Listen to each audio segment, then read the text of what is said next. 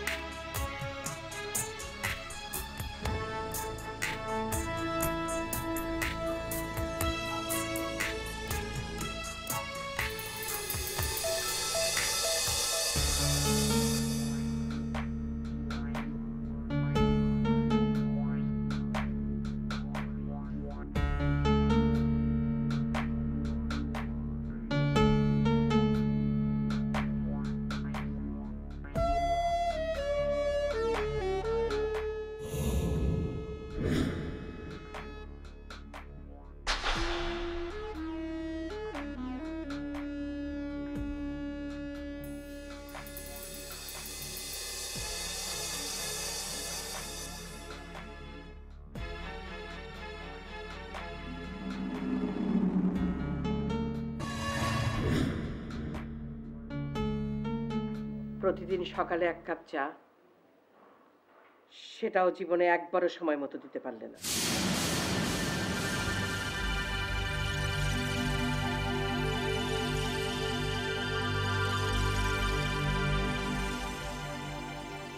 মা আজ ব্রেকফাস্টে কি দেবো আপনাকে? এই চাটুকু আগে ঠিক মতো খেতে দাও। একটা কাজ অন্তত ভালো মতো হোক।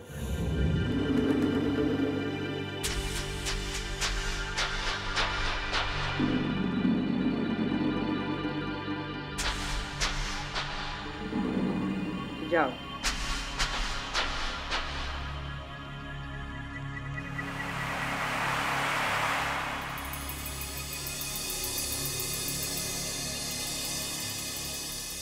তোমার উনি উঠেছেন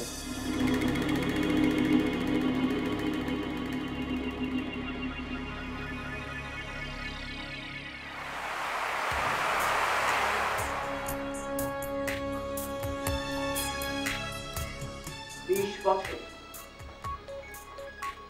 বিশ বছর ধরে চলছে। তুমি আর তোমার স্বামী। আমার মাঝে মাঝে মনে হয়, মকবুল আমার পেটের সন্তান না।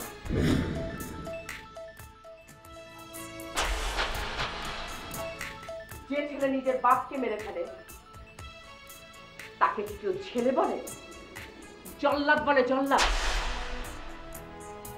ভেবে পাই না। তুমি আর জল্লাদের সাথে থাকো কি করে? ছেড়ে দাও না কেন? তুমি আর কি বলবে? পাথর। একটা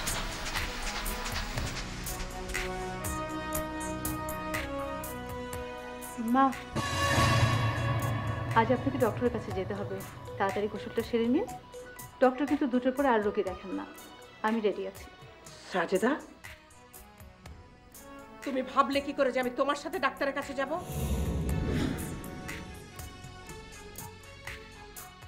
জল্লাদের বউয়ের সঙ্গে? আমার নাত বউ সায়মা আমাকে ডাক্তারের কাছে নিয়ে যাবে। বুঝতে পেরেছ?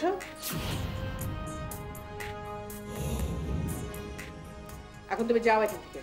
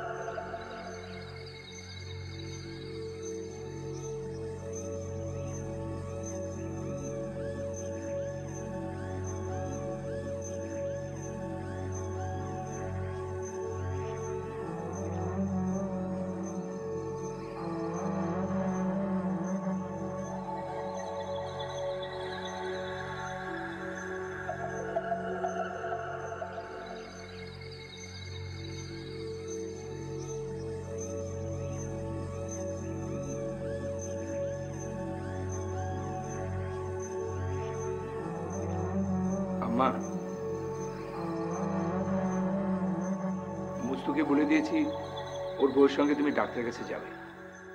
আমার কথা তোমাকে না ভাবলেও চলবে। চেক বইটা দাও আর কালকের হিসাব।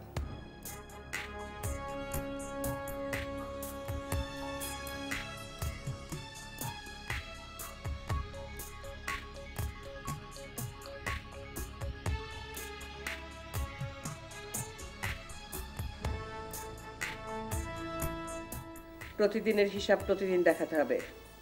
বুঝতে পেরেছ?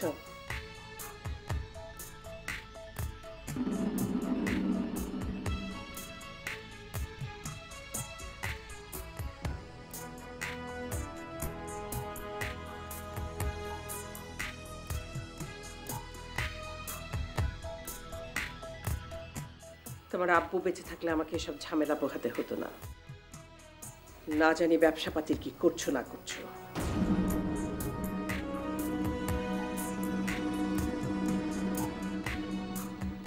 সঙ্গের মতো দাঁড়িয়ে আছো কেন? যাও।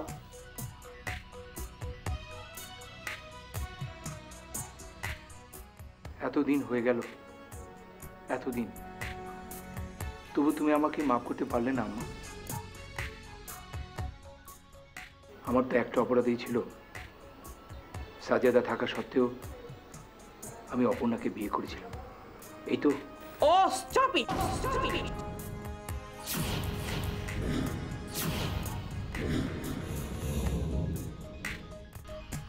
নিজের আব্বুকে খেয়েও শান্তি হয়নি? জল্লাদ? খুনি কথাকার? Get out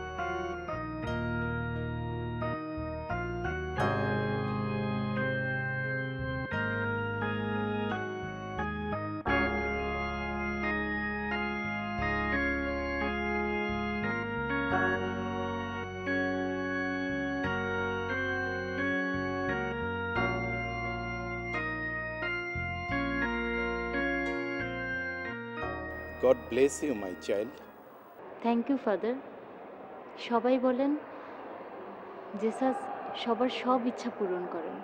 যদি মন থেকে চাও আর সৎভাবে চেষ্টা করো তাহলে অবশ্যই তোমার ইচ্ছা পূর্ণ হবে। থ্যাংক ইউ ফাদার সিনথিয়া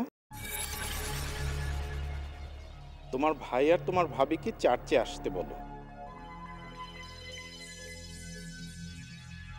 যে যা সবাইকে ভালোবাসেন। সবাইকে ডাকেন।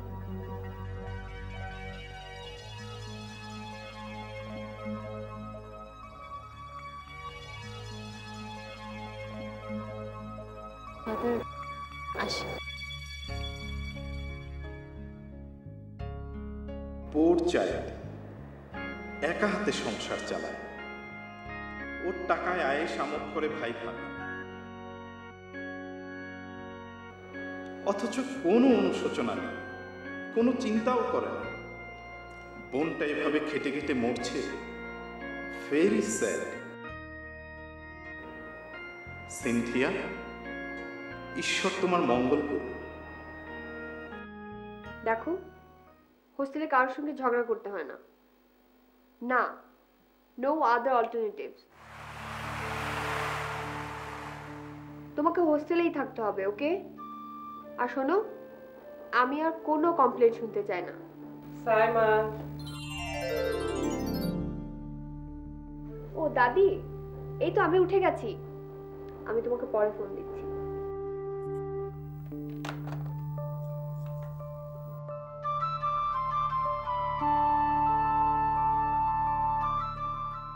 আমি রেডি দাদি। আপনাকে ডাক্তারের কাছে নিয়ে যেতে হবে তো? আমি জানি। সে তো আমিও জানি। বাচ্চাদের সঙ্গে কথা বলছিলি? তো বল না, ফোন রেখে দিলি কেন? আরে তুই তো এত শাশুড়ির মতো বোকা না। ও যখন ফয়সাল জারিনের সাথে ফোনে কথা বলে, ওর মাথায় থাকে না যেটা ওভারসিস কল সাজেদা যে কীরকম মানুষ তা আল্লাহ মালুম।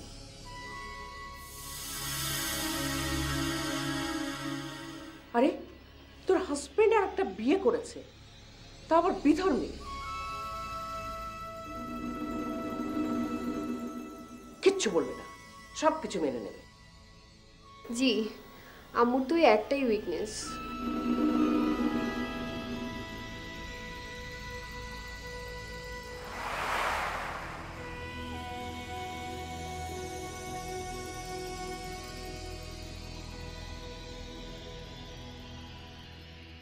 এই সাত সকালে নতুন কি প্রবলেম নিয়ে হাজির হলে দাদি যান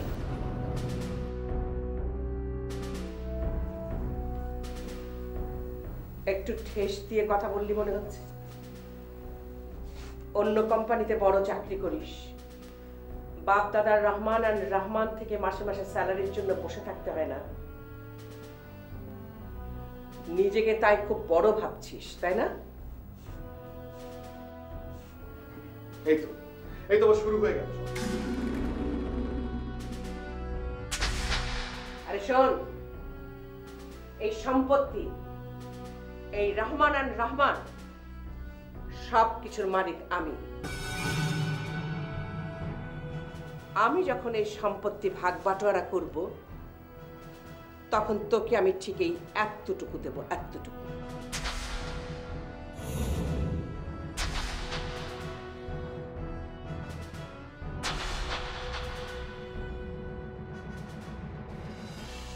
তোর চেয়ে দশ গুণ বেশি দেব আমি আমার সাইমাকে।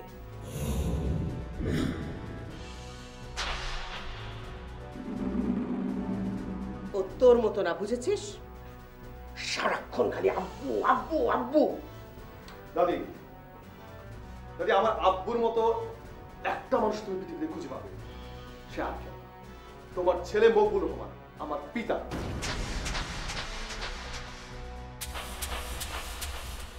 আমি ভেবে পাই না যে আব্বু এত কিছু সহ্য করে কি করে। তুমি উঠতে বসতে রাত, দিন যা তা বলে অপমান।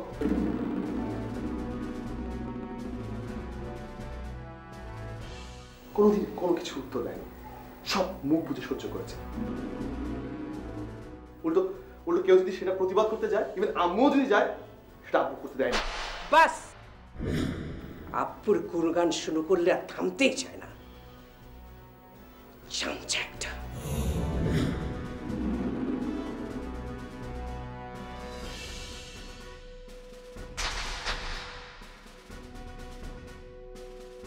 আমি ভেবে পাই না সাইমার মতো এত ভালো একটা মেয়ে তোর কপালে জুটলো কি করে? দাদি অনেক হয়েছে অনেক। তুমি দয়া করে এবার আব্বুকে মুক্তি দাও। আমি এই বিষয়ে কোনো কথাই বলব মুক্তি? মকবুলের মুক্তি? ওই শয়তানটা চিরদিনের জন্য রহমান খানদানের মুখে কালি মেখে দিয়েছে। সেই শোকে তোর দাদা যান। আরে, তোর সংসার আছে। তোর আর একটা বিয়ে করার দরকার কি? তো আবার দাদি দাদি প্লিজ দাদি, শান্ত হন প্লিজ চলুন, আমরা ব্রেকফাস্ট করে নিই। প্লিজ দাদি, চলুন, ডাক্তারের কাছে যেতে হবে। প্লিজ দাদি, চলুন।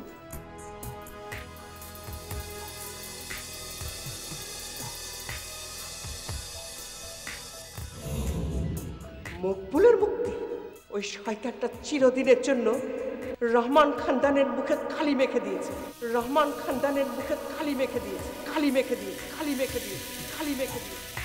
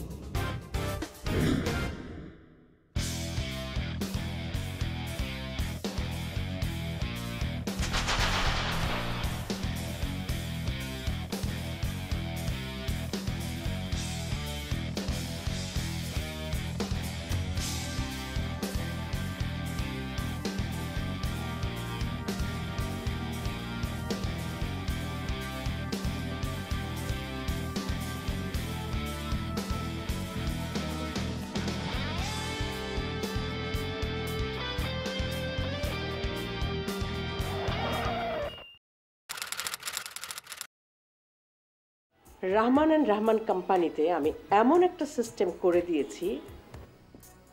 এখানে এখন সবাই পুতুল নাচে পুতুল।